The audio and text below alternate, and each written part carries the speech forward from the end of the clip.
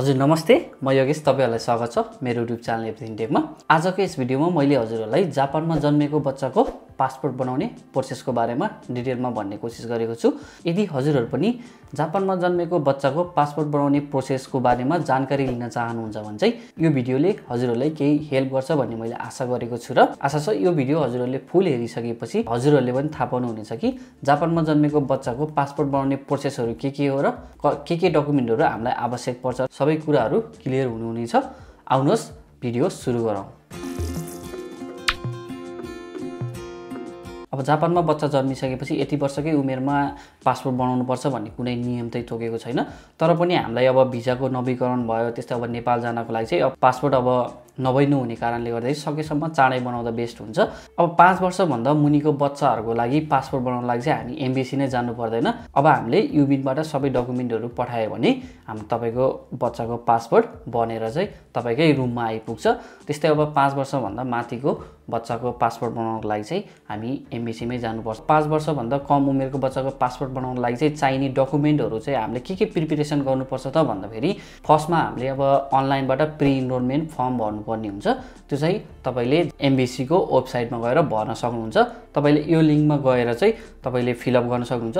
यो लिङ्कको युआरएल चाहिँ म तपाईँलाई मेरो डिस्क्रिप्सन बक्समा पनि राखिदिन्छु। त्यसबाट तपाईँले ए फिलअप गर्न सक्नुहुन्छ। अब हामीले प्रि इनरोलमेन्ट फर्म भर्ने बेलामा चाहिँ चाहिने डकुमेन्ट भनेको अब बच्चाको मम्मी ड्याडीको अब नागरिकताको फोटोकपी त्यस्तै अब बच्चाको जाइरो कार्डको फोटो त्यस्तै बच्चाको मम्मी ड्याडीको म्यारिज सर्टिफिकेट यसमा अपलोड गर्नुपर्ने हुन्छ र र तपाईँले प्रि इनरोलमेन्ट फर्म भरिसकेपछि लास्टमा तपाईँलाई एउटा क्युआर कोड आउँछ। त्यो क्युआर कोडलाई चाहिँ तपाईँले प्रिन्ट आउट गरेर त्यो पनि हामीले युबिनबाट पठाउनु पर्ने हुन्छ। अब प्रि इनरोलमेन्ट फर्म हामीले कसरी भर्ने म एकछिनपछि तपाईँलाई भन्नेछु। अब हामीलाई फर्स्टमा प्रि इनरोलमेन्ट फर्म भरिसकेपछि सेकेन्डमा चाहिँ हामीले अब पठाउनु चाहिने डकुमेन्ट भनेको बच्चाको दुई कपी फोटो चाहिन्छ। त्यो फोटो चाहिँ तपाईँले एकदम हाई क्वालिटीको व्हाइट ब्याकग्राउन्ड भएको चाहिन्छ। हामीले मोबाइलबाट खिचेर अथवा कम्पनीबाट प्रिन्ट गरेर बाहिर एकीतिर हुने त्यो फोटो खिच्ने मेसिनहरू हुन्छ त्यसबाट खिचेको पनि त्यति राम्रो हुँदैन। त्यही भएर एमबिसीले चाहिँ हाई क्वालिटीको फोटो मागेको हुन्छ। त्यही भएर तपाईँले सकेसम्म चाहिँ फोटो स्टुडियोमै गएर हाई क्वालिटीको व्हाइट ब्याकग्राउन्ड भएको thirty five by forty five एमएमको चाहिँ तपाईँले फोटो दुई कपी चाहिन्छ। त्यस्तै अब हामीलाई अर्को चाहिने डकुमेन्ट भनेको मम्मी ड्याडी बच्चाको आमा बुवाको चाहिँ नागरिकताको फोटोकपी अगाडि पछाडिको साइडको र बुवा मम्मीको पासपोर्टको फोटोकपी। त्यो त्यो पनि हामीले सँगै पठाउनु पर्ने हुन्छ। त्यस्तै अर्को चाहिने भनेको बच्चाको बुवा आमाको चाहिँ म्यारिज सर्टिफिकेट त्यसको फोटोकपी चाहिँ तपाईँले पठाउनु पर्ने हुन्छ। र हामीलाई अर्को चाहिने भनेको बच्चाको जाइरो कार्डको फोटोकपी। त्यो पनि हामीले पठाउनु पर्ने हुन्छ र अर्को इम्पोर्टेन्ट भनेको तपाईँले बच्चाको जन्म दर्ता तपाईँले जन्मदत्ताको सर्टिफिकेट त्यो चाहिँ ओरिजिनल पठाउनु पर्ने हुन्छ। तपाईँ जुन ठाउँमा बस्नु भएको छ त्यो ठाउँको सिटी अफिसमा गएर तपाईँले बच्चाको बर्थ सर्टिफिकेट बनाउन सक्नुहुन्छ। त्यसलाई चाहिँ जापानिजमा सिस्चो तोदोके जिउरी स्योमेन्स्यो भन्छ। तपाईँले कुयाक्सोमा गएर सिस्चो तोदोके जिउरी स्योमेन्स्यो भनेर भन्नुभयो भने बनाइदिन्छ र त्यो चाहिँ ओरिजिनल पठाउनु पर्ने हुन्छ। अब हामीले पठाउनु पर्ने कुराहरू चाहिँ मैले अघि भनेको यो चार पाँच छवटा कुराहरू छ। त्यो चाहिँ हामीले एमबिसीमा पठाउनु पर्ने हुन्छ। एमबिसीमा पठाउने बेलामा चाहिँ तपाईँले सबै डकुमेन्टहरू चेक गरेर चाहिँ तपाईँले एमबिसीमा पठाउनु पर्ने हुन्छ। एमबिसीमा पठाउने बेला डकुमेन्टको साथसाथै तपाईँले पन्ध्र हजार एन जापानिज पन्ध्र हजार एन पनि तपाईँले पठाउनु पर्ने हुन्छ। पठाउने बेलामा चाहिँ तपाईँले ग्याङ्किङ खाकिदोमे गरेर तपाईँले मे युबिनमा गएर भन्नुभयो भने त्यही अनुसार तपाईँले पैसा पनि त्यही डकुमेन्टको साथसाथै पठाउन सक्नुहुन्छ र अर्को भनेको तपाईँले तपाईँको बच्चाको पासपोर्ट बनिसकेपछि रुमसम्म पठाउनको लागि चाहिँ तपाईँले एउटा यो लेटर प्याड भन्ने यस्तो हुन्छ यो लेटर प्याड हुन्छ यो चाहिँ तपाईँले कम्पनीबाट सजिलैसँग किन्न सक्नुहुन्छ। यस्तो लेटर प्याड तपाईँले किनेर चाहिँ त्यसमा टु लेखेको ठाउँमा मैले यसमा पनि राखेको यो पार्टमा चाहिँ तपाईँले आफ्नो घरको एड्रेस अब तपाईँले बसिरहेको ठाउँको एड्रेस चाहिँ यस पार्टमा यो पार्टमा लेख्नुपर्ने हुन्छ। र तब तपाईँको बच्चाको पासपोर्ट रेडी भएर आइसक्छ। एमबिसीले चाहिँ तपाईँको यही लेटर प्याडमा हालेर चाहिँ तपाईँको रुमसम्म पठाउने गर्छ। हजुर हामीले चाहिँ यति प्रोसेस गर्नुपर्ने हुन्छ। आउनुहोस् अब म प्रि इनरोलमेन्ट फर्म चाहिँ हामीले कसरी फिलअप गर्ने मेरो कम्प्युटर स्क्रिनतिर लैजान्छु। तपाईँले मोबाइल फोनबाट पनि गर्न सक्नुहुन्छ। यदि तपाईँसँग कम्प्युटर एभाइलेबल छैन भने मोबाइल फोनबाट पनि गर्न सक्नुहुन्छ। आज मैले चाहिँ बुझाउनको लागि चाहिँ कम्प्युटर स्क्रिनबाट गर्दैछु। तपाईँले कम्प्युटरबाट गर्नुभयो भने अझै सजिलो हुन्छ। मोबाइल फोनबाट पनि प्रब्लम हुँदैन। आउनुहोस् मेरो कम्प्युटर स्क्रिनतिर लैजान्छु। हजुर मैले यो अब कम्प्यु मेरो कम्प्युटरको minister of foreign affair department of passport भन्ने वेबसाइटमा आएको छु। यसबाट चाहिँ हामीले अब प्रि इनरोलमेन्ट फर्म भर्नुपर्ने हुन्छ। यसको लिङ्क चाहिँ म तपाईँलाई मेरो डिस्क्रिप्सनमा राखिदिन्छु। त्यसबाट तपाईँ डाइरेक्ट एक्सेस गर्न सक्नुहुन्छ। अब यसमा pre enrolment for e passport भनेको छ विद्युतीय राजधानीको आवेदन। त्यसपछि यो फर्स्टमा चाहिँ हामीले अब एप्लाई गर्नको लागि चाहिँ एप्लाई फर पासपोर्ट भनेको छ। त्यसपछि अब हामीले एप्लाई गरिसकेपछि चाहिँ इडिट भ्यू एप्लिकेसन भनेको छ। यसमा चाहिँ हामीले अब केही इडिट गर्नु पऱ्यो मानव तपाईँले अब अपोइन्टमेन्ट डेट चेन्ज पऱ्यो अब भ्यू तपाईँको एप्लिकेसन भएको छ कि छैन चेक गर्नको लागि चाहिँ हामीले यस जान सक्छौँ। अब हामी चाहिँ अहिले बच्चाको पासपोर्ट एप्लाई गर्दैछौँ भने हामीले अब एप्लाई फर इ पासपोर्ट भनेर यसमा क्लिक गर्छौँ। त्यसपछि अब तपाईँको यो चारवटा अप्सन छ। तपाईँले यो फर्स्ट अप्सनमा पहिलोपटक राजधानी लिनको लागि भनेको छ। त्यसपछि सेकेन्डमा चाहिँ अब म्याच सकिएको तपाईँको रिन्यू गर्नको लागि। त्यसपछि अब यो सेके थर्ड अप्सनमा रिप्लेसमेन्ट तपाईँको अब पासपोर्ट हरायो। अब जस्तै अब कसैले चोर्यो भने ए त्यसको लागि चाहिँ थर्ड अप्सन भनेको छ। त्यसमा अब लास्टको फोर्थ अप्सन भनेको रिप्लेसमेन्ट तपाईँको पासपोर्ट अब ड्यामेज भयो मानव च्यातियो त्यस्तै अब तपाईँको अब पानीले भिज्यो आगो लागि भयो त्यस्तो भएको कन्डिसनमा चाहिँ अब फोर्थ अप्सन अब हामीले बच्चाको अब फर्स्ट टाइम पासपोर्ट इस्यु गर्दैछौँ भने यो फर्स्टको अप्सनलाई हामीले सेलेक्ट गर्छौँ। त्यसपछि अब यसमा लेखेको छ यो पढेर मात्र प्रिलोनमेन्ट गर्नु होला भनेको छ। अब यसमा अब तपाईँले पढ्नुपर्ने के के के लेखेको छ यो पढ्न सक्नुहुन्छ। पढिसकेपछि अब हाम्रो यो पासपोर्टको चाहिँ अर्डिनरी पेज अब कुन कति पेजको चाहिँ पासपोर्ट लिने यसमा अप्सन छ। अर्डिनरी थर्टी फोर पेज र अर्डिनरी सिक्सटी सिक्स पेजको। अब यो पेज भनेको चाहिँ तपाईँको पासपोर्टको थर्टी फोर पेज र यसमा अब पासपोर्टको पेज मात्रै फरक हुने हो। अरू केही फरक हुँदैन। तपाईँले अब धेरै ट्राभल गर्नुहुन्छ नि सिक्सटी सिक्स पेजको लिन सक्नुहुन्छ नि। हल्का ठिकै ट्राभल गर्नुहुन्छ नि। हामीलाई थर्टी फोर पेजकोले पनि इनफ हुन्छ जस्तो लाग्छ।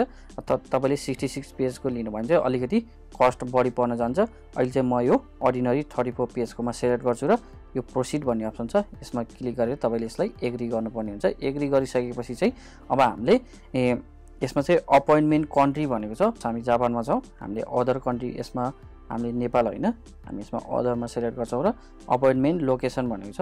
यसमा चाहिँ तपाईँले जापान टोकियो सिलेक्ट गर्नुपर्ने हुन्छ।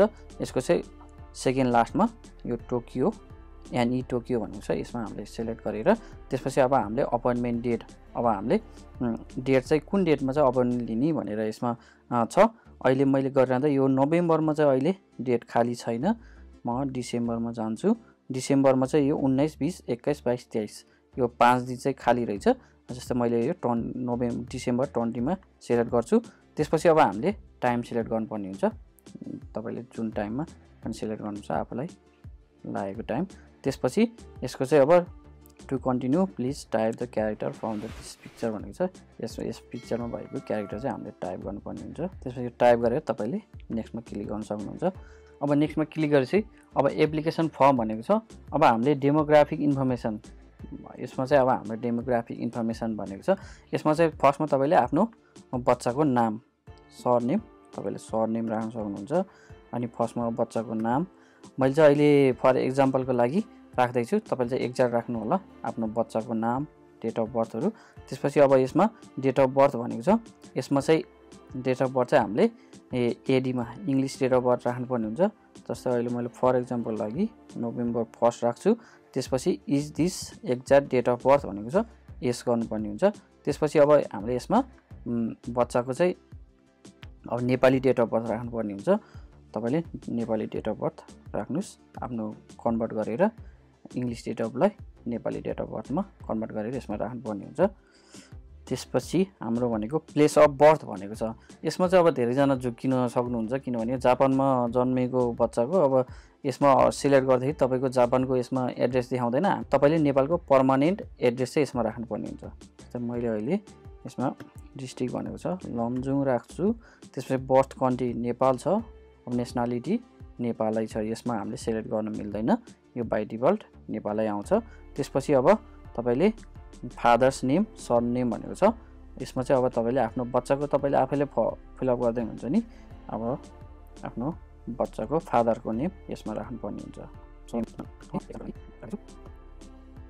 अब हामीले यो फिलअप गऱ्यौँ त्यसपछि अब सिटिजनसिप इन्फर्मेसन भनेको छ नागरिकताको इन्फर्मेसन भनेको छ। फर्स्टमा अब नेसनल आइडेन्टिटी नम्बर भनेको छ। यसमा अप्सनल हो यसमा हामीले राख्नु पर्दैन। अफिसले बच्चाको अब आइडेन्टिटी नम्बर बने अब नेसनल आइडेन्टिटी नम्बर बनेको हुँदैन। अब सिटिजनसिप नम्बरमा पनि हाम्रो अब बच्चाको त जापानमा जन्मेको बच्चाको अब नागरिकता बनिसकेको हुँदैन अभियसली बन्दैन। त्यही भएर यसमा सिटिजनसिप नम्बर हुँदैन। तपाईँले यसमा चाहिँ आफ्नो बच्चाको डेट अफ बर्थ राख्न सक्नुहुन्छ। त्यसपछि यसमा citizen citizenship date of issue भनेको छ। इस्यु अब बिएसमा तपाईँले अब नेपाली डेटमा चाहिँ कहिले लिनुभएको भनेर यसमा राख भनेको छ।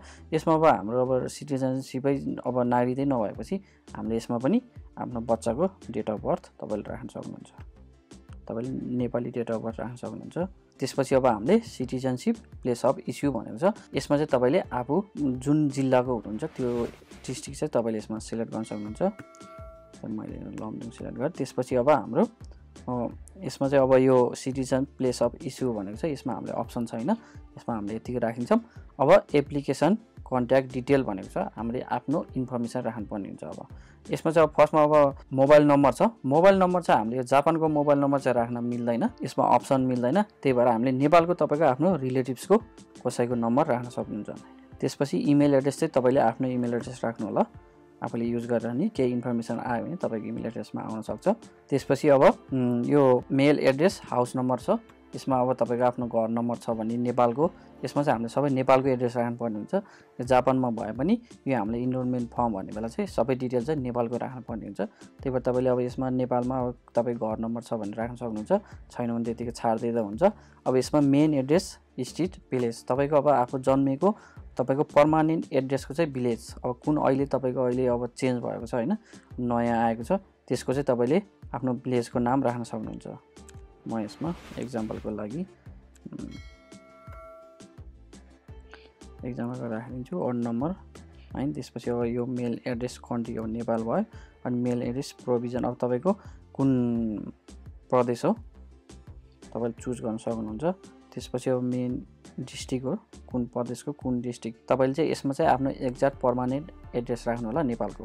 त्यसपछि मेल एड्रेस म्युनिसिपालिटी तपाईँको अब कुन हो तपाईँको नगरपालिका कुन हो अब त्यो चाहिँ यसमा राख्न सक्नुहुन्छ।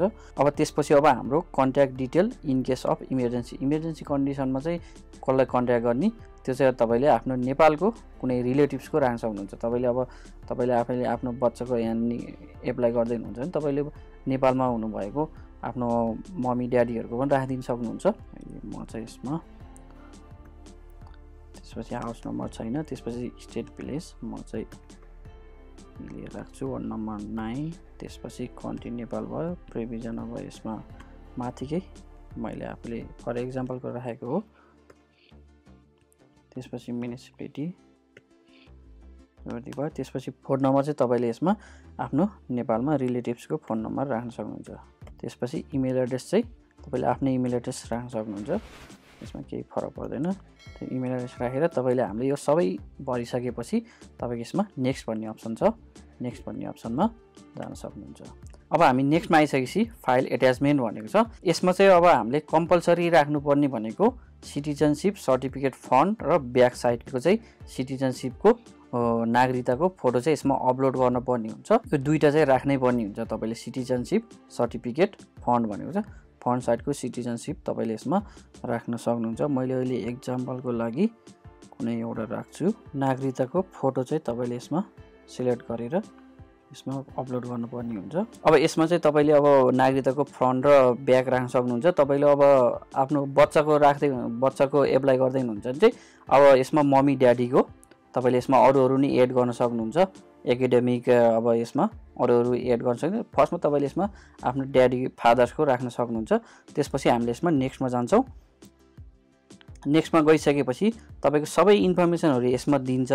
अनि त्यसपछि अब तपाईँको अब कुनै केही करेक्ट गर्नुपर्ने छ होइन त्यसपछि करेक्ट गर्नु पर्ने छ भने तपाईँले यसो यो यसमा यो यो बटनमा क्लिक गर्नुभयो भने तपाईँले यसलाई करेक्सन पनि गर्न सक्नुहुन्छ र तपाईँले यो एप्लाई गर्ने बेलामा चाहिँ यसमा टाइम दिएको हुन्छ। यो टाइमभित्र चाहिँ हामीले सबै प्रोसेस गर्नुपर्ने हुन्छ। अलिक ढिलो भयो भने चाहिँ यसको टाइम अहिले मैले यो remaining type of complete the process भनेको छ। यसमा अहिले मैले यो तिन मिनट बाँकी छ। मैले तिन मिनटभित्रमा गरिनँ भने फेरि सुरुबाट गर्नुपर्ने हुन्छ। अब यसमा तपाईँले सबै इन्फर्मेसनहरू चेक गर्नुहोस्। राम्रो फर्स्टदेखि नै राम्रो तरिकाले भर्नुभयो भने तपाईँले चेक गर्नु पर्दैन। चेक गर तपाईँको मिस्टेक हुने चान्स कम हुन्छ। त्यही पनि एकपल्ट सबै चेक गर्नुहोस् र त्यसपछि लास्टमा तपाईँले यसमा यो फेरि यो क्याप्चर छ यसमा यसलाई हामीले टाइप गर्छौँ। यहाँ माथि दिएको नम्बर। हामीले यो टाइप गरेर त्यसपछि हामी सेभ गर्छौँ। सेभ गरेपछि तपाईँले यसमा रिक्वेस्ट नम्बर दिएको छ। यसलाई तपाईँले कपी गर्न सक्नुहुन्छ। त्यसपछि तपाईँले यसलाई फोटो खिचेर राख्न सक्नुहुन्छ अथवा तपाईँले स्क्रिनसट पनि लिन सक्नुहुन्छ यसलाई। स्क्रिनसट लिएर पनि राख्न सक्नुहुन्छ। स्क्रिनसट लिनुहोस् त्यसपछि अब फिनिस गर्नुहोस् त्यसपछि अब तपाईँको यसमा तपाईँको सबै डिटेलहरू यस्तो क्युआर कोड सबै डिटेल दिएको हुन्छ। यसलाई चाहिँ हामीले पि प्रिन्ट गरेर पठाउनु पर्ने हुन्छ। त्यही भएर हामीले यसलाई डाउनलोड गर्ने। डाउनलोड गरिसकेपछि त तपाईँले चाहिँ यसलाई आफूलाई आफ तपाईँको घरमा प्रिन्ट छ भने प्रिन्ट गर्न सक्नुहुन्छ।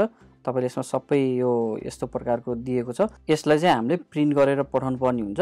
हजुर यस्तो तरिकाले चाहिँ हामीले अब प्रि इनरोलमेन्ट फर्म भर्न सकिन्छ। अब यो प्रि इनरोलमेन्ट फर्म भर्ने बेलामा मैले लास्टमा नागरिकताको फोटोकपी मात्रै अपलोड गरेको छु। त्यसमा चाहिँ तपाईँले आफ्नो बच्चाको जाइरो कार्डको फोटोकपी र तपाईँले म्यारिज सर्टिफिकेट पनि त्यसमा अपलोड गर्न सक्नुहुन्छ।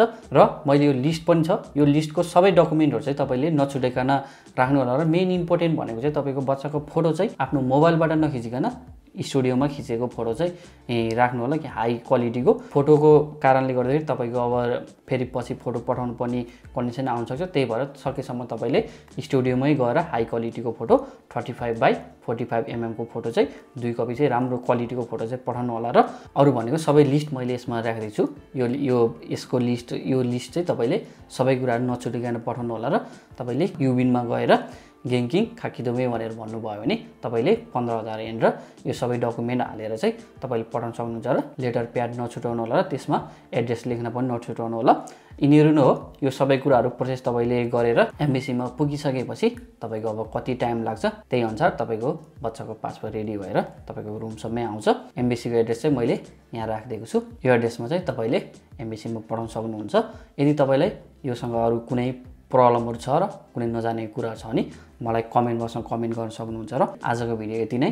यदि हजुरहरूलाई आजको भिडियो युजफुल लाग्यो इन्फर्मेटिभ लाग्यो भने प्लिज सेयर गर्न नभुल्नु होला र भिडियोलाई लाइक पनि गर्न नभुल्नु होला र मैले चाहिँ प्रायः जस्तो यस्तै जापानसँग रिलेटेड भिडियोहरू बनाउने भएको हुनाले यदि तपाईँहरू पनि केही कुराहरू जान्न चाहनुहुन्छ भने चाहिँ मेरो युट्युब च्यानललाई सब्सक्राइब पनि गर्न नभुल्नु होला भन्दै आजको भिडियोबाट चाहिँ बिदा हुन चाहन्छु। हस्त नमस्ते। Thank you